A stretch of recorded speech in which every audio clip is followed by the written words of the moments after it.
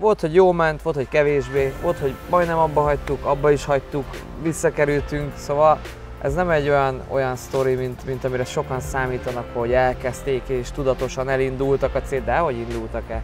Még azon is gondolkoztam, hogy nálam mikor jött az, hogy, hogy én olimpiai bajnok akarok lenni. Ezek a sikerek, amiket együtt érünk el, ez, ez nagyba befolyásolja a másik teljesítményét, és mind ahogy neki, mind ahogy nekem én, én sok esetben sokszor, főleg amikor fiatal volt, tehát magamnak éreztem az ő sikerét. Amikor felnőtt Európa bajnokra 19 évesen, én voltam 15, hát én úgy pozoltam mellette, mint hogy én szereztem azt az EB érmet. Mert a célunk továbbra is az, hogy, hogy, hogy a birkozás mellett maradjunk, a birkozás mellett tevékenykedjünk, csak valahogy más formában érjünk el sikereket. Mind a mellett rengeteget kaptunk, szeretnénk adni is ennek a sportágnak, és mostani célunk az, hogy a Tomi az utánpótlást, én pedig a, a felnőtt korosztályt hozzá tudjuk segíteni a további olimpiai sikerekhez.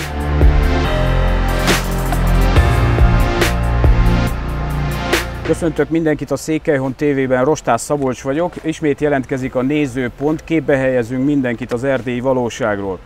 Testvérpárral fogunk beszélgetni, mégpedig nem is akármilyennel, a tagjai az elsők a magyar sporttörténelemben, akik egyéni sportban olimpiai érmet szereztek. Köszöntöm a nézőpontban Lőrinc Tamás olimpiai arany és Lőrinc Viktor olimpiai ezüstérmes birkózót, és még persze az érmeket lehet hosszan sorolni. Köszönjük szépen, hogy elfogadtátok a meghívást. Szia, köszönjük a meghívást. Köszönjük szépen. Nos, hogy is érzitek magatokat? Hát olyan versenysportolóként, akik talán már azt mondjátok, hogy nem folytatjátok az élsportot, vagy a pályafutásotok abbahagyásában gondolkodtok, de minden esetre, hogy már nem kell naponta edzésre járnotok, mérlegelnitek, tehát nézzétek a mérleget, hiszen egy birkózónál ez nagyon fontos. Szóval ez, ez hogy, hogy élvezitek ezt a helyzetet, ha egyáltalán, vagy még hiányzik el? Hát igen, ez egy teljesen másfajta életritmust kíván, ugye, nem amihez mi hozzá vagyunk szokva, vagy amihez hozzászoktunk, de igazából mind a kettőnknek az volt a, a célja, terve, hogy, hogy, hogy a birkozás mellett fogunk maradni valamilyen formában, és ugye én, mint a Kozma István Magyar Birkoz Akadémiának a szakmai igazgatója, ott tudtam maradni. Uh, a Viktor edzőként uh, majd nyilván elmondja, hogy ő, ő most mit csinál, és hát nehéz, igen, meg hogy mondjam, amit csinál az ember több éven keresztül, több mint 25 éven 25 keresztül. éven keresztül. És, és most jön egy, egy, egy másfajta kihívás, de ezzel meg is válaszoltam, hogy, hogy mi olyanok voltunk mindig is, akiknek kellett cél, kellett kihívás, kell valami, ami felé tartunk és haladunk, és ez, ez most igen egy kicsit megváltozott, de valójában mégsem, mert, mert a célunk továbbra is az, hogy, hogy, hogy a birkozás mellett maradjunk, a birkozás mellett tevékenykedjünk, csak valahogy más formában érjünk el sikereket. Igen. Viktor, Tokió után még nem érezted úgy, hogy még mennél tovább? Vagy az, az, az volt, hogy tehát az már, még ha ezüst is mondjuk, tehát, de az a, úgy voltál, hogy gyakorlatilag elérted a célodat, érmet szereztél. Igen, azért itt hozzá tartozik a történethez, hogy nekem volt egy, sajnos nekünk, mindketten nem mondhatom, volt egy riói kudarcunk, amit nagyon nehezen éltünk meg mind a ketten, és igazából ott megfogalmazott bennem, hogy ennél több van benne, mint egy öt, olimpiai ötödik hely, és számomra abszolút felértékelődött ez a, ez a Tokió ezüstérem, ugyanis nagyon-nagyon vágytam erre az éremre, és mindent megtettem a felkészülés alatt, hogy ez összejön.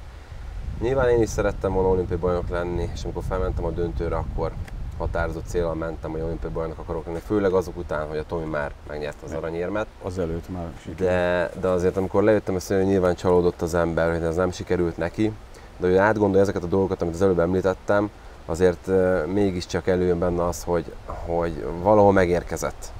És én is ezt éreztem, hogy ott, ott, ott, ott valami, valami olyan dolog eltűnt belőlem, ami, ami már ami nem lenne elég ahhoz, hogy én azt olyan magas szinten tudjam csinálni, hogy az elegendő lehet egy Párizsi olimpiára.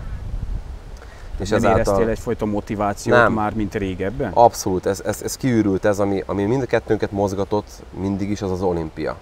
És annak érdekében mondhatjuk azt, hogy nagyon sokat áldoztunk, és mind a mellett, hogy rengeteget kaptunk, de az egy olyan életforma kell, ami, ami egy nagyon kemény, és a, a szemünk előtt mindig az olimpia lebegett, és ahogy mondom, megérkeztünk mind a kettő, és ez egy nagy vágyunk volt, hogy mi egy olimpián, ugyanaz olimpián tudjunk érmet szerezni egyszerre, hogy már csak ezt tartott minket igazából ennyi, ilyen magas szinten, ugyanis megvolt már EB-ről, szereztünk két érmet VB-ről, nem hiányzott más, mint az olimpia. És ez mind a kettőnk számára úgy gondolom, hogy ez egy olyan cél volt, ami, amit, amit ezt, ezt kergettük igazából az egész pályafutásunk alatt.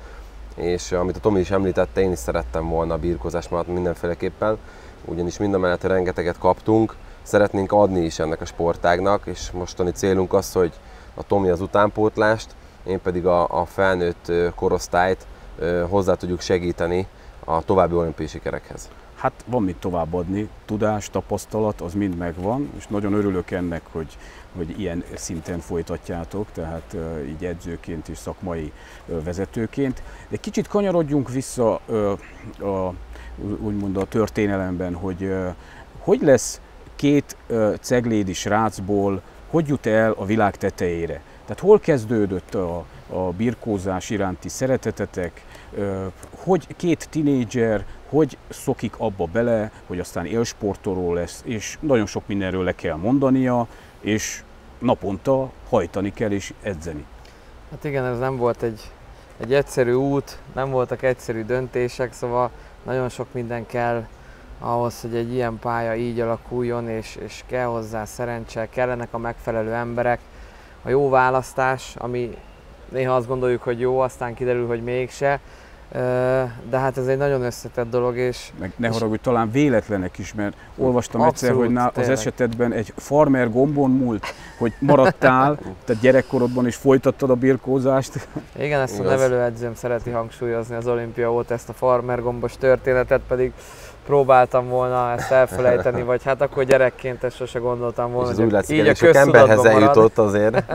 Igen, mert sajnos a egyik edzésem még gyerekkoromban leszakították a hőnáhított kedvenc farmeromnak a gombját, és mondtam, hogy én, én ilyen helyre többet nem jövök vissza, aztán visszamentem valahogy. Hál' Isten.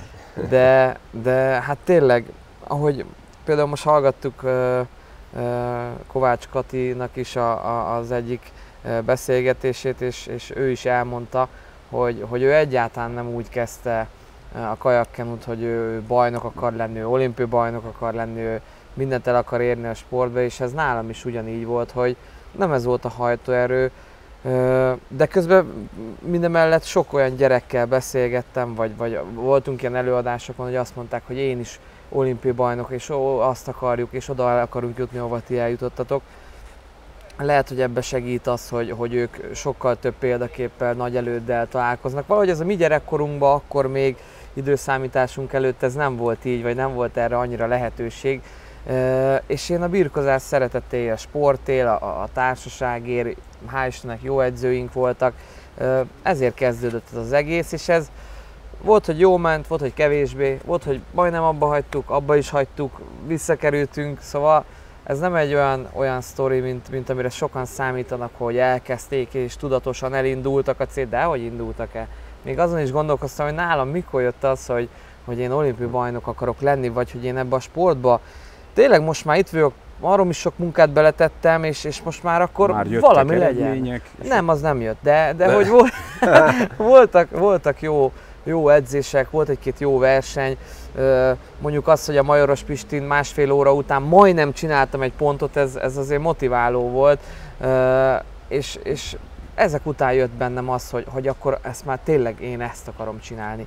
Hiszen mi nem is olyan családban nőttünk fel, akik, értették ezt az egészet, nem élsportoló család, nem is volt a, a családban olyan, aki, aki magas szinten sportolt volna, hanem mi egy munkás család vagyunk, szakma kell, dolgozni kell, így tud eltartani a családot, és ők ezt nem értették, hogy, hogy mi, mi, mi ez, hogy élsport, mi az, hogy sport, mint hivatás. Tehát, valami rendes szakmát. Valami, rend, na, valami rendes szakma, és hát nagyon-nagyon sajnálom, hogy, hogy, hogy, hogy a, nem mindegyik nagyszülőm érte meg azt, ahogy, ahogy, ahogy íveltünk felfelé a pályán, és, és édesapám apukája, hát ő nagyon szeretett minket, és, és soha a szemünkbe nem mondott volna semmi negatívumot, de, de, de rajta nagyon éreztem a szkeptikusságot, és, és sajnos ő már nem tudta megélni azt, amikor felnőtt Európa bajnok lettem.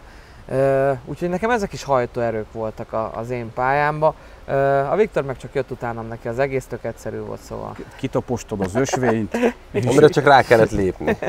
Nem, hát nyilván az is egy nagyon nehéz szituáció volt. Úgy Viszont az, hogy testvérekként ugyanazt a sportágot űzitek, az, azt gondolom, hogy valamelyest mégis az van, hogy húzzátok egymást magatok, magatok után. Elsősorban persze Tamás húzott téged, de aztán pedig te is őt. Ez, ez mennyire jelentett többletet a pályafutásotok során? Így van, azért ez egy fő mozgatórugója volt ennek az egésznek, én úgy gondolom, mert pont amiről beszélsz, hogy ezek adtak olyan pluszokat, és sok esetben ezek miatt is tudtunk átmenni a holpontokon, és ezért adtunk többet egy edzőtáborba vagy egy versenyen a másiknak, ugyanis a többieknek általában nem volt ott a családtagjai egy-egy világversenyen, nekünk azért ott voltak, és ez sokat számított azért, főleg nekem, amikor bekerültem a felnőtt válogatottba, az amikor fölmész egy Európa bajnokságon a szőnyegre, 20 évesen, 21 évesen, azért ott kell a támogatás bőven. És amikor érzed azt, hogy ott áll mellett, a szőnyeg mellett valaki, aki elég közel áll hozzád, az úgy, úgy elég jó. És nekem ebből is volt nagy segítségem, amikor indultam, mert nyilván nem úgy jöttek az első sikerek, ahogy szerettem volna. És akkor mindig kis léptekbe haladtunk, hogy erre nagyon jó emlékszem, amikor mindig elmondta, hogy jó, most nyilván ezzel nem kell bánkódni, meg kell szerezni a megfelelő skalpokat. És amikor el tudtam venni egy Európa bajnokot, vagy amikor el tudtam venni egy olimpiai bajnokot, hogy ezt olyan szépen tudtam magamba építeni, de nyilván kellett hozzá az ő segítsége, hogy hogyan is lehet ezt még magasabbra, és hát nyilván evés közben jött meg az étvágy, meg hát persze az, hogy sorra nyerte ő is az érmeket, és én úgy gondolom, hogy így, így olyan jó, ez az nyilván a véletlen műve, vagy az előbb hogy azért nem voltak sok esetben a tudatosságok, viszont ez a véletlen műve volt, meg nyilván mi is elkezdtünk komolyodni, és komolyabban rápörögni erre az egészre, hogy azért valóban van itt keresni valunk, és ez annyira megdobta a motivációnkat és a lendületünket, hogy, hogy szó szerint tényleg elkezdtek jönni a nagy sikerek. Tehát akkor már, amikor például 20 évesen Európa bajnoki címet ö, szereztél, szereztetek, akkor már az, hogy tudatosult bennetek, hogy azért jó irányba haladtok, és jönnek az eredmények, ebből lesz valami. Hát igen, az első komoly uh, ilyen válaszút az 14 éves koromban jött, amikor uh, ott álltam ugye a pályaválasztás előtt, hogy mi legyen iskola, szakma vagy a sport, és szerencsés vagyok nagyon, mert, és itt jön a szerencsefaktor is, hogy mennyire fontos, hogy igaz, hogy nekünk nem volt egyikünknek se meg olyan lehetőség, mint a mai fiataloknak, ahol, ahol tényleg sokkal jobb körülmények, nemzeti akadémiák vannak, komoly programok és, és, és minden, ami, ami ezzel jár, támogatás a gyerekeknek. Nekünk, nekünk akkor nem volt meg, de, de nagyon szerencsés vagyok abból a szempontból, hogy, hogy akkor volt egy hasonló elképzelés, és elindult 2001-ben a Mr. Tus birkozóiskola, amit Hegedűs Csaba álmodott meg, és meg is valósított, mert enélkül a program nélkül mi most nem ülnénk itt egyikünk se, bocsánat, és nem, nem beszélgetnénk itt a szép eredményekről, mert, mert enélkül nem tudtunk volna a, a világ élmezőnyéhez tartozni, vagy egyáltalán nem is tartozni, hanem arra elindulni, hogy majd egyszer oda fogunk tartozni, talán, hiszen vidéken, nem is igazából az, hogy vidéken, hanem, hanem egy, egy küzdősportba, ami, ami, ami edzőpartner függő is, mert hiába van egy tehetséges gyerek, hiába van egy jó edző, ha nincsenek meg az edzőpartnerek, akkor tehát, nem tudunk fejlődni, és nem tudunk, nem tudunk tovább lépni. És, és ugye körülbelül 3000 birkozó van az országban, és szerintem most akkor sokat mondtam, és ezzel a 3000-rel kell felvennünk Oroszország több milliós, Amerika, Irán ellen a, a, a harcot, és, és nyilván erre hát ez a kevés eszköz, ami a kezünkben van, az, hogy, az, hogy nagyon jó edzőink vannak, hogy, hogy nagyon komoly múltunk van, és, és az, hogy kevesen vagyunk, de van egy jó elképzelésünk, egy jó stratégiánk, ezzel tudunk a világ élmezőnyében maradni, és ez nem más, mint a központosított rendszer, és, és akkor ezt már gondolom régen is belátták, csak amikor régen még elég volt 18 évesen feljönni Budapestre, és 18 évesen végezni egy magasabb szintű munkát, akkor az még elég volt. A mai világban akkor 20 évvel ezelőtt már nem volt elég, már 14 évesen kellett, és ahogy gyorsul a világ, és, és, és, és még jobban fejlődik minden. Én úgy érzem, hogy ez is uh, itt az előttem szólókkal uh, ellentétben, ahol mondták, hogy 12 évesen elég specializálódni. Uh, én nem tudom, a, a labdajátékokhoz nem értek, de nálunk nem elég. Nálunk 12 évesen nem lehet már specializálódni. Az egyetértek, hogy nagyon sok sportágat kell csinálni, nagyon sok mindent ki kell próbálni, hiszen ezzel fejlődik egy gyereknek a mozgás kultúrája, de, de el kell kezdeni a, a, a specializációt minél hamarabb. Én úgy látom, az én tapasztalatom szerint ez 7 éves korba el kell kezdeni, és, és nyilván a birkozás mellett nagyon sok mindent ki kell próbálni, és hagyni a gyereket gyereknek maradni, ez nagyon fontos, és ezt most is így látom az akadémián is, még a 14 éveseknél is, hogyha nem hagyjuk őket, hogy gyerekek maradjanak egy valamilyen szinten, akkor, akkor nagyon el tudjuk rontani. Nagyon egyszerű, vagy nagyon nehéz ezt, a, ezt az arany középutat megtalálni, de hát ez egy új kihívása a, a, a Apropó a gyermekeitekből, lesz majd birkózó? Vagy hát Tomiéból kötelezően birkózónak kell lennie, mert hát Lőrinc Márton után van elnevezve, úgyhogy nem kisebb terhet rakott, akár mint egy olimpiai bajnok után nevezte a fiát. Azt szeretném, hogy az életében azért a mozgás jelen legyen. Az, hogy élsportol lesz, az ő döntése lesz és hát nyilván a, a birkozás mellett szeretne lenni, akkor ott lesz, de nem szeretném neki ezt erőltetni, mert azért nyilván ez egy nehéz sportág, sok lemondással, nyilván aki sportoló, a többi sportágban is sok mindenről le kell mondania, de nem fogom akadályozni benne, ez a saját döntése lesz. Viktor, tőled a Riói olimpián szó szerint elcsalták a bronzérmet. Ezt azért lehet kijelenteni, és azért nem rágalom, vagy azért fedi ez a valóságot, mivel hogy a az egyik kollégájának az a kirgiz bíró ezt elismerte. Ezt, hogyha én, én úgy gondolom, hogy egy élsportoló abba talán bele, meg tudja emészteni, bele tud nyugodni, hogyha egy nála erősebb, jobb, gyorsabb ö, ellenfél legyőzi. Az is Viszont, nehéz. Az is nehéz. Az is nehéz, nehéz igen, de... hogy túlted, Viszont ezt az igazságtalanságot, ezt hogy tudtad te megemészteni?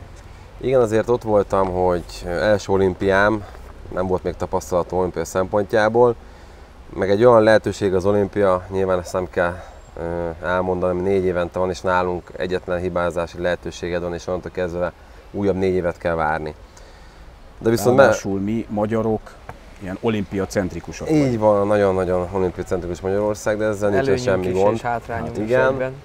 Viszont aznap kifogtam egy olyan formát, ami úgy gondolom, hogy hogy nagyon ritkán sikerül, aki, főleg akinek első olimpiája azért, ott azért nagyon el tud menni a figyelem, és erről külön tudnánk egy, úgy gondolom, egy egész riportot csinálni, aki első olimpián indul. De most uh, igazából visszakanyarodnék arra, hogy, hogy ott egy olyan bronzmérkőzésen vettem részt, ahol 5 és fél percig én vezettem, és már szabályszerűen a nyakamba volt ez az érem, ahol nem szeretek bírózni sok esetben, meg nyilván én vagyok a szőnyegen, az én felelősségem, de ott nem csak a versenyzővel kellett versenyezni, hanem egy kicsit a bíróval is, ez pedig nehéznek bizonyult, és ezt nem tudtam megugrani, nem tudtam megoldani.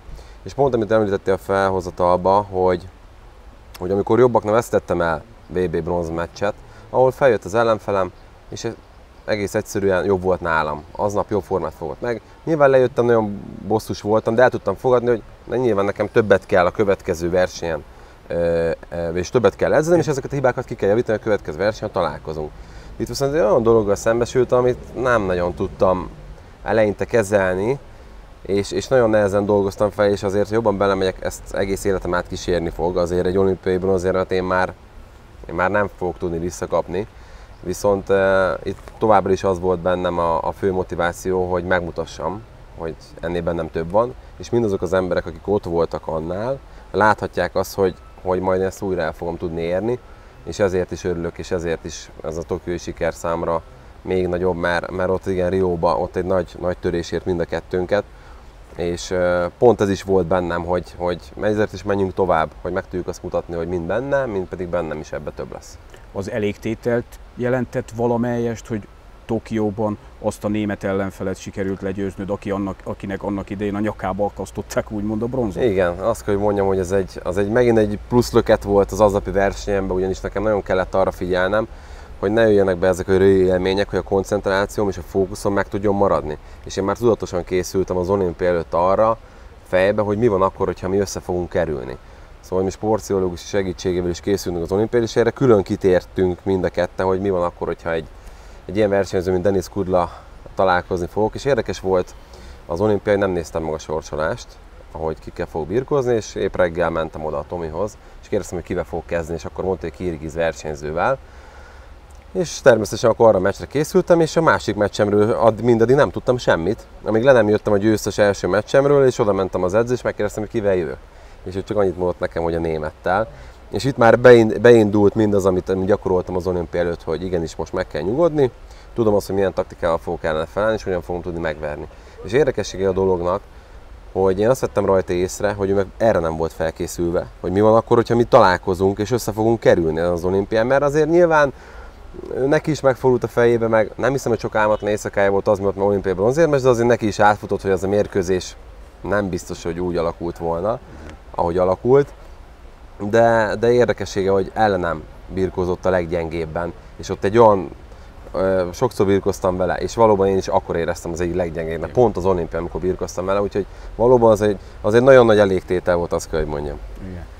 Úgy tudom, hogy Tamás téged legalább úgy, vagy még inkább megviselt az, ahogy Viktorral úgymond az, a, ahogy elbántak annak idején, és ott gyakorlatilag egymást kellett vigasztalnotok, és egymást kellett kihúznotok a gödörből. Ez hogy sikerült?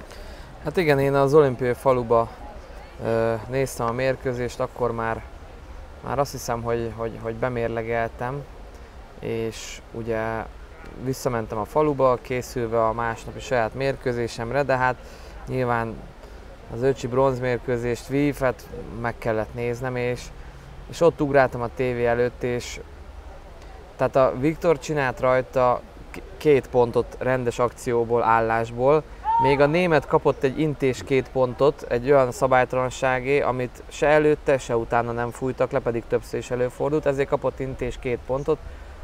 Ez még azt mondtuk, hogy jó, így is a Viktor vezetett, és utána fél perccel vége előtt meg még egyszer megintették. Szóval a német kapott három intéspontot, a Viktor meg csinált három akciópontot, vagy kettőt, és a okay. másik leküldés, teljesen mindegy.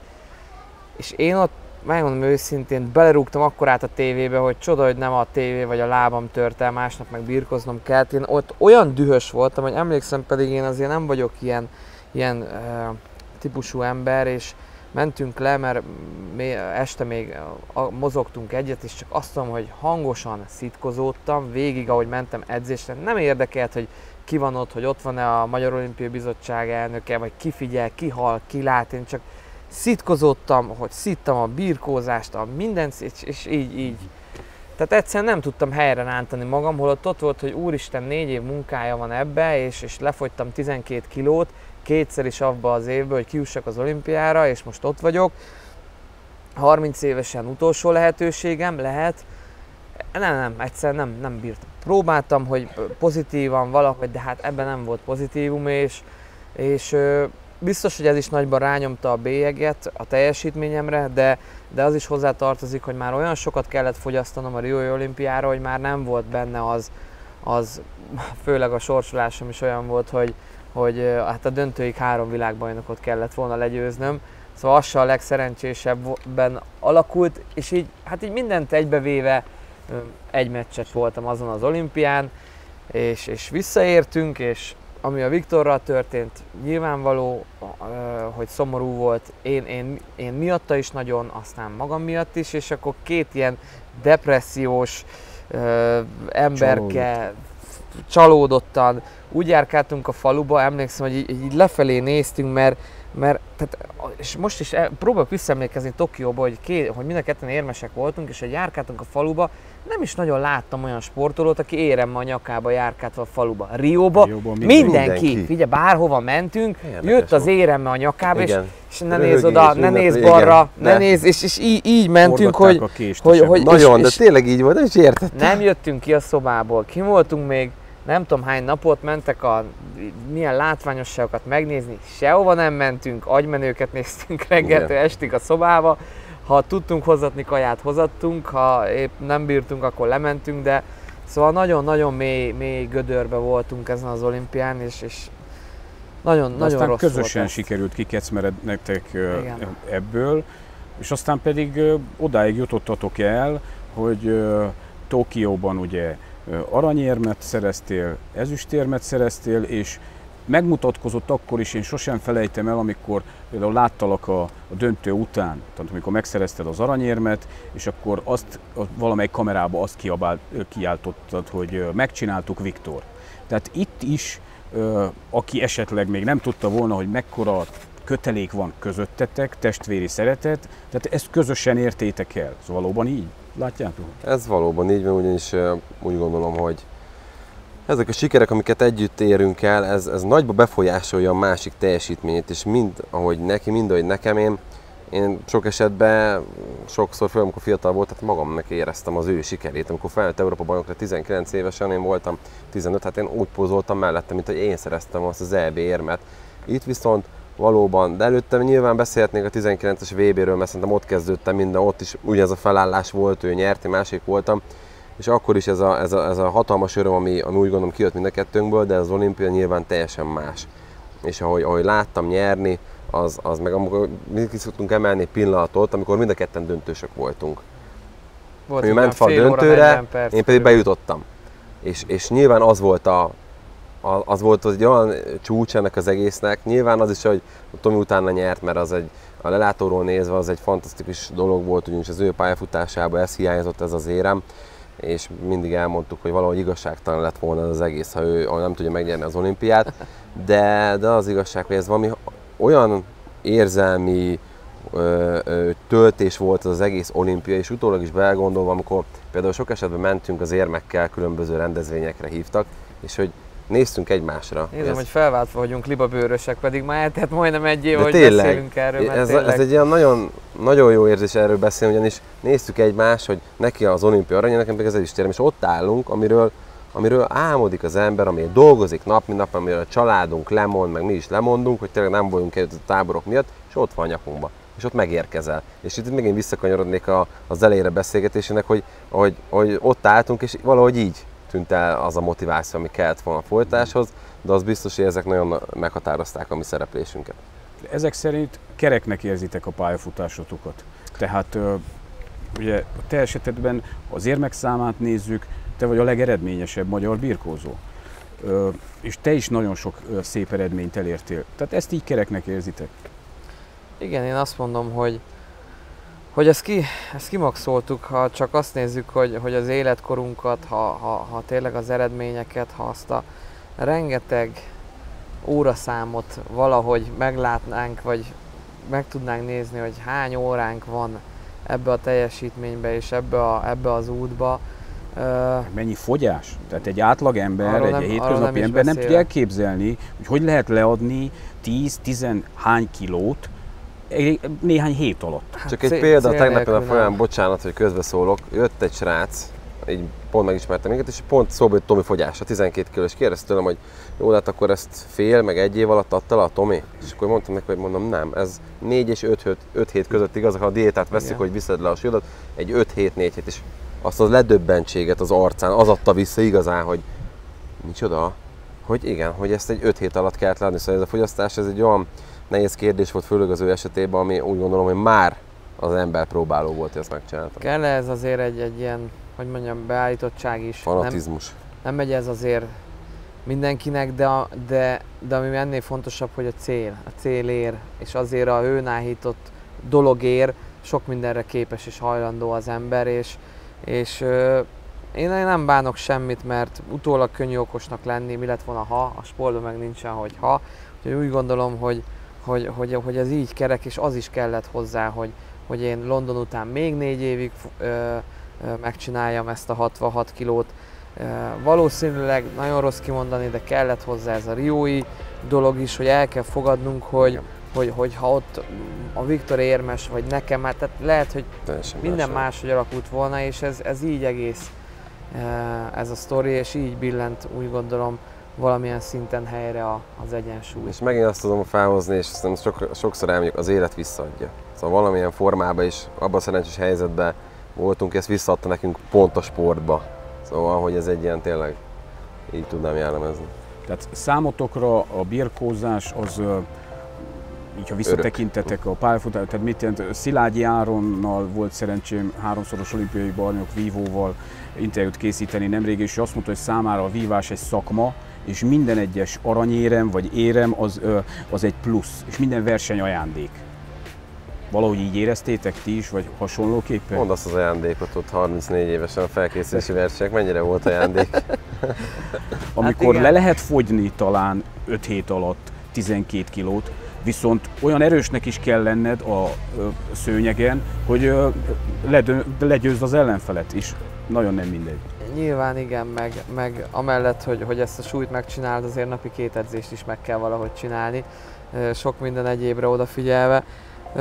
Igen, ezen még nem gondolkoztam. Én mindig inkább úgy, úgy, úgy jellemeztem a birkozást, hogy ez, ez nem, nem a munkánk, hanem, hanem az egész, az egész életünk, és, és ez, egy, ez egy életvitel, egy életstílus lett, és, és van akinek, például Viktornak, aki, aki akkor tudott igazán jó lenni, hogyha száz százalékban csak a birkozás, és mindent ennek rendelve alá, és én is ilyen voltam nagyon-nagyon sokáig, de én 30 évesen eljutottam oda, hogy, hogy, hogy, hogy elég, hogy, hogy már, már nem bírom ezt így. Szóval, hogy, hogy, hogy jó, akkor még én is érzek magamban, meg mindenki mondja, hogy van még bennem, próbáljuk meg, de, de már nekem ez nem megy így, ebben a formában, és, és valamit változtatni kell, és sajnos edzeni muszáj, versenyezni muszáj, azon nem tudunk változtatni, akkor, akkor mi az, amin lehet, és, és, és, és én elkezdtem nyitni sok minden más dolog felé, sok mindenbe belevágtam, ami egy kicsit megosztotta a figyelmemet. Természetesen, amikor edzés, edzés, mikor pihenés, pihenés, de, de, de már más dolgokkal is foglalkoztam, nem csak a birkozás, és ez például az én teljesítményemnek nagyon jót tett. A Viktornál szerintem ez nem működött volna, hogyha ő, ő elkezd más dolgokkal is mélyebben foglalkozni, mert ő, ő, ő akkor volt igazán jó, hogyha tudatosan és kockán és, és, és a birkozás. Csak szóval, hogy, hogy, hogy, hogy, egy irányunk volt, de mégis, mégis máshogy másféleképpen jutottunk fel a végén a csúcsra. Lőrinc Tamásnak és Lőrinc Viktornak, olimpiai érmes birkózóinknak és világbajnok és Európa-bajnok birkózóknak nagyon szépen köszönöm azt, hogy elbeszélgethettünk, és további sok sikert kívánunk, kívánok nektek a sportákban már szakmai vezetőként, edzőként, és nagyon szépen köszönjük nektek azt a sok örömöt, amit szereztetek a, a szőnyegen elért sikereitekkel. Nagyon szépen köszönjük. Köszönjük, köszönjük is a beszélgetést. Köszönjük Önöknek is a figyelmet, iratkozzanak fel a YouTube csatornánkra, lájkolják a műsorainkat, viszontlátásra!